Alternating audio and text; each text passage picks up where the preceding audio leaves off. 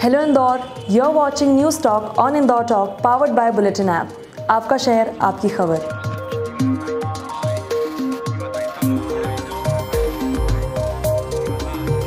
आज की इस वीडियो में हम आपको बताने वाले हैं हिंदुस्तान के दिल के उत्सव, जल महोत्सव सीज़न फोर में मिलने वाले अमेजिंग एक्सपीरियंस के बारे में। इंदौर से तीन घंटे की दूरी पर मौजूद इंदिरा गांधी सागर बाँध के पास स्थित खंडवा के हनुमंतिया में। जल महोत्सव सीज़न फोर में 104 टेंट्स लगाकर एक खूबसूरत टेंट सिटी का निर्माण किया गया है।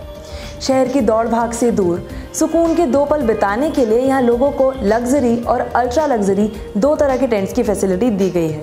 पहले टेंट सिर्फ़ जल महोत्सव के लिए लगाए जाते थे और फेस्टिवल के खत्म हो जाने के बाद इन्हें हटा लिया जाता था। पर ऑर्गेनाइजर्स के अनुसार इस साल इन टेंट्स को कंटिन्यू रखा जाएगा। यानी कि महोत्सव के खत्म हो जाने के बाद भी इन टेंट्स का मज़ा हम सब ले पाएँगे।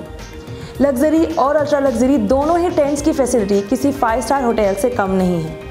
बस अंतर इतना है कि ultra luxury tents luxury tent से ज़्यादा स्पेशियस हैं। कई सारी फैसिलिटी और घर जैसे कंफर्ट के साथ होमली फील प्रोवाइड करवाने वाले इन टेंट्स को प्रॉपरली ऑर्गेनाइज और अरेंज किया गया है।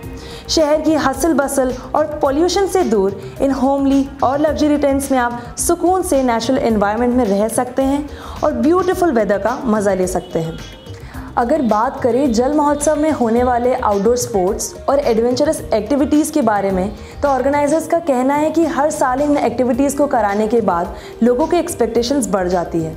तो इसलिए हम हर साल पिछले साल से कुछ बेहतर करने की कोशिश करते हैं। इस साल जल महोत्सव में ऐसी कई सारी एक्टिविटीज़ हैं जिन्हें आप बिल्कुल मिस नहीं करना चाहेंगे। Parasailing jet ski paramotors boat rides water zorbing banana ride water sports के साथ साथ art and handicraft workshop yoga meditation paintball सहित बच्चों के लिए, खेलने के लिए अलग किड जोन भी है। सिर्फ़ इतना ही नहीं, ऐसी और भी कई सारी अमेजिंग चीज़ें हैं जो कि आप ज़रूर एक्सपीरियंस करना चाहेंगे। जैसे कि hot air balloon trekking houseboat cruise boat cycling around the island bird watching stargazing campfire और काइट फ्लाइंग इतनी सारी एडवेंचरस एक्टिविटीज़ के साथ सुरक्षा सुविधाओं का भी पूरी तरह से ध्यान रखा गया है। प्रशासन की मदद से जल महोत्सव के दौरान 24 घंटे फायर ब्रिगेड और एंबुलेंस की सुविधा दी गई है। साथ ही साथ स्पोर्ट्स एक्टिविटीज़ के दौरान रेस्क्यू बोट को तैयार रखा गया है और टेंट सिटी की सुरक्षा सुनिश्चित करने के लिए 24 four into seven security guards रखे गए हैं और सीसीटीवी कैमरास भी लगाए गए हैं। एडिक्वेट नंबर में फायर एक्सटिंग्विशर्स लगाए गए हैं ताकि किसी भी तरह की अनहोनी से बचा जा सके। इस साल air condition conference hall add किया गया है, जो कि पिछले किसी जल महोत्सव में नहीं था। साथ ही साथ कुछ एक्टिविटीज़ को भी बढ़ाया गया है।